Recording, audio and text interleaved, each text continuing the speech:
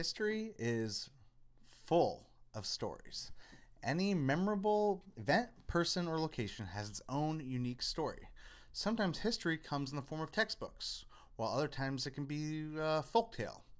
The line of truth becomes blurry whether history is recounting facts and figures or if it is crafting a compelling tale. Historical fiction has the opportunity to take events, time periods, or famous people from the real world and insert them into a made up scenario. The crucial element is to capture the essence of reality. You can learn from fiction if it represents reality. The book I want to introduce today plays with historical fiction in a really interesting way. Uh, Zora and Me by Victoria Bond and T.R. Simon uh, is a reimagining of legendary author Zora Neale Hurston as a child. If you don't know Zora Neale Hurston, she published novels about racism and the social divide in the early to mid 1900s. She became an activist and part of the Harlem Renaissance in the early 1920s, but one thing that made her work extra special was how she used her hometown of Eatonville, Florida as a backdrop for many of her stories. The location helped set the tone and establish a community, making Eatonville its own quasi character.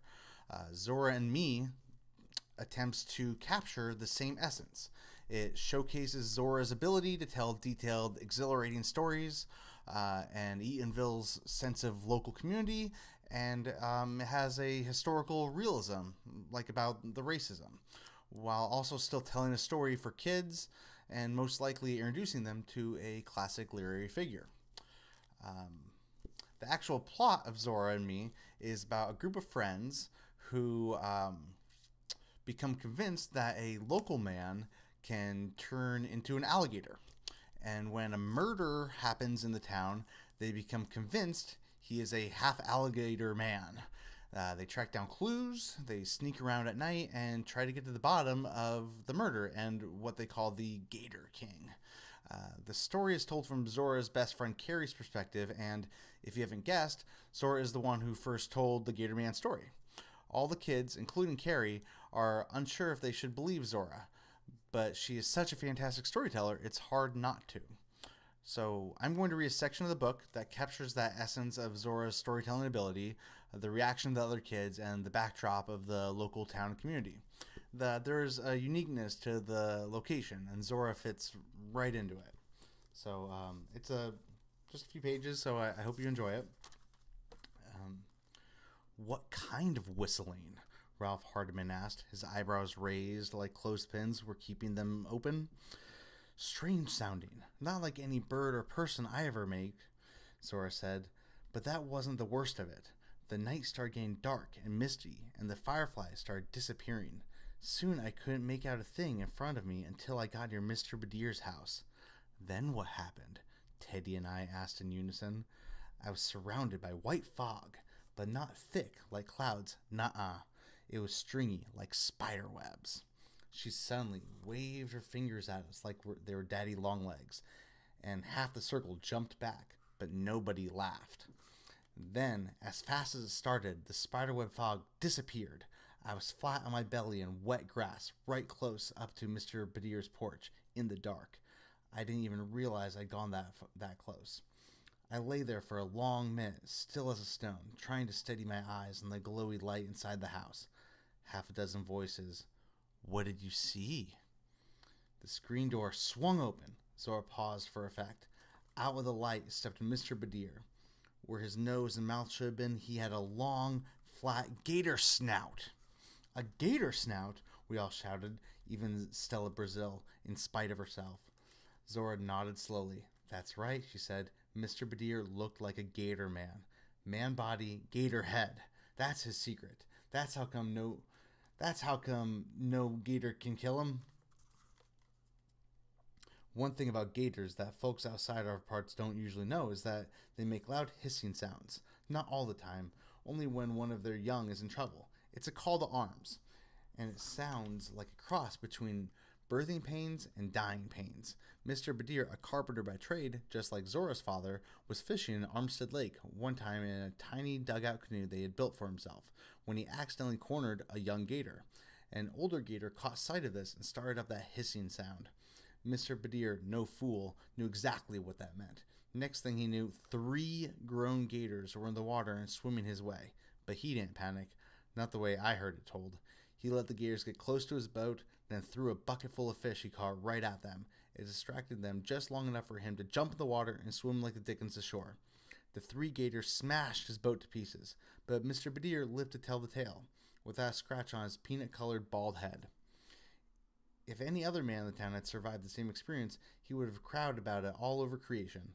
Not Mr. Badir, no. No one would have known about it at all if Mr. Clarke hadn't seen him carving a new canoe and asked him what happened to the old one. Everyone knew Mr. Badir to be a quiet and honest, and no one doubted the story for a minute. Still, some folks ran to the lake anyway and found the splintered pieces of the dugout canoe washed up on the shore.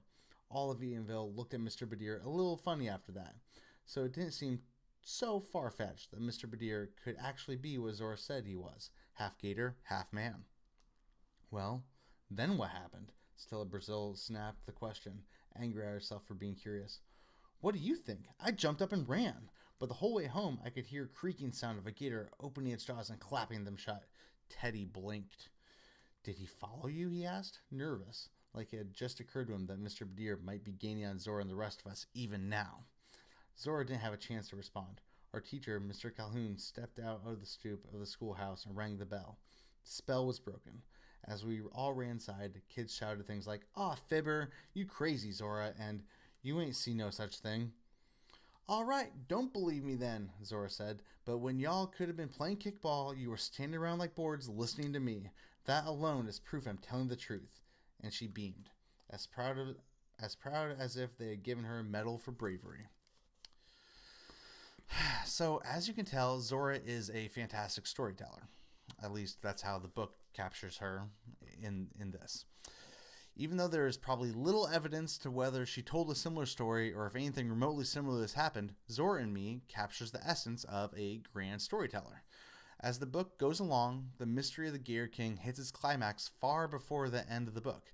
Instead of the mystery being the crux of the plot, the story delves into real themes of history. Zora and Carrie have their first hand experiences witnessing the racial and social divide. They realize how serious the barrier of their culture is and how much bigger there are things to fear rather than the Gator King. In some ways, this is akin to a coming of age story. As in the beginning, Zora and Carrie are fun loving kids with a spark of adventure, but by the end, their eyes have been opened to the real dangers of the world. A reader might have similar experiences while reading this novel. Zora and Me is written for a younger audience, and while it absolutely captures the fun mystery vibe, it also has a very serious realness about it. A middle school reader will be drawn in by the mystery, but will learn about racism, community, and the concept of telling the truth. Zora Me is well acclaimed and won the Coretta Scott King Award for New Talent in 2011. It is a wonderful example of the ability of creative historical fiction to engross an audience and capture a piece of history while telling a fictional story. I would seriously recommend this to anyone 12 years plus. So uh, that is Zora and me. And um, I uh, hope you enjoyed my book talk. Thank you.